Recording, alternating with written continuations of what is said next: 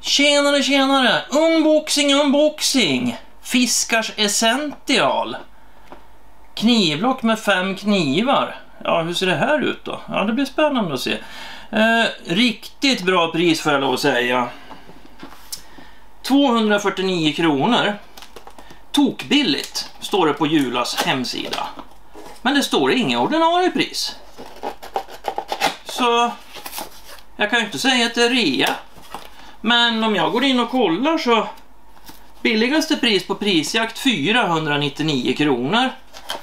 Och dyraste pris på prisjakt 839 kronor. Det är liksom helt sanslöst. Ja, ta ur lite mer grejer här ska vi se. Här är väl knivarna. Och så har vi själva knivblocket här i ska vi se. Ja, sen är det lite papper i där som skydd bara men... Oj, den var inte hopplös inte. Ja, ja. Jag, jag ska plocka upp den där bara så. Jag ställer den här åt sidan så länge. Ska vi ta och kolla på resten. Så, det var alltså den här som hoppade iväg som bara den. Så man kan tro att den har fötter. Ja. Då tar vi ur den i kromat och fint. Och vi har naturligtvis plastpåse så det blir lite plastskatt här nu då, men ja, ja, så är det. Och sen har vi två hål på baksidan där så vi tar helt sonika den här och sätter i den. Får man ta i lite.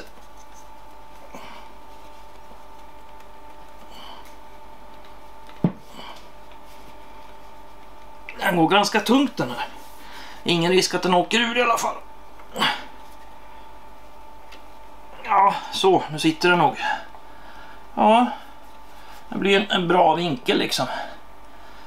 Och sen har vi som två stycken gummitassar där.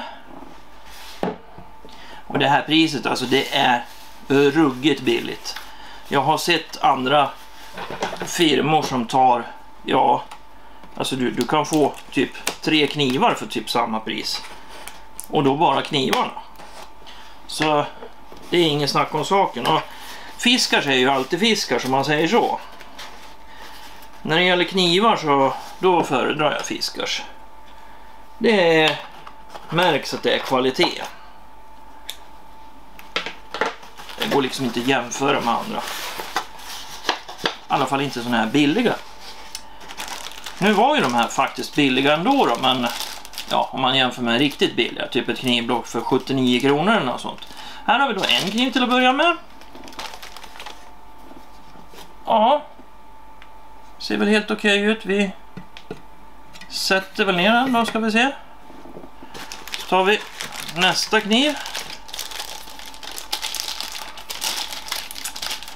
Och nu när jag har lite fiskarsknivar så då, då blir det ju att man har massvis med gamla knivar men de får jag väl sälja på loppis till sommaren. Brukar ju vara med på en loppis som jag och några kompisar anordnar.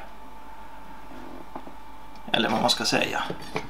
Vi är hemma hos en kompis mamma i alla fall och anordnar en loppis. Och då brukar jag ta med lite sånt som inte jag tycker att jag behöver längre. Sälja iväg lite billigt. Så nu blir det väl lite knivar framöver då.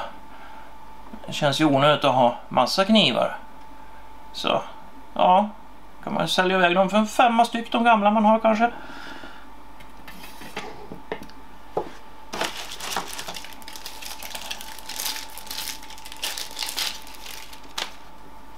Och det känns ju riktigt bra att ha sånt där knivblock. Så knivarna håller sig någorlunda vassa istället för att de ska ligga löst i en låda. Eh, det det här knivblocket saknar är ju en tomatkniv. Synd nog, får jag lov att säga. Men lite synd att det inte finns möjlighet att sätta dit en kniv till också. De har kunnat haft det lite bredare. Och sen eh, haft ett spår som man har kunnat sätta i en kniv till. Men det är en smaksak. Eh, jag köpte ett annat knivblock förut från fiskar som hade plats för en extra kniv. Fast egentligen var väl det plats för något sånt där slipblock eller vad det var. Ja, i alla fall så ja, det funkar ju rätt bra. Men eh, nu har jag väl knivar så jag ska klara mig i alla fall när jag har två uppsättningar med olika fiskars. Så ja, riktigt, riktigt bra pris i alla fall. Jag känner mig super, super nöjd. Ja. Och gillar ni en sån här tokrea, fyndvaror, DMX, allting sånt. Varmt välkomna till Facebookgruppen där vi tipsar varandra om allt billigt. Länken till de här har jag ju naturligtvis lagt upp där. Det var väl allt för den här gången. Ha nu en riktigt, riktigt bra dag eller en riktigt, riktigt bra kväll och varmt välkomna åter. Hej då!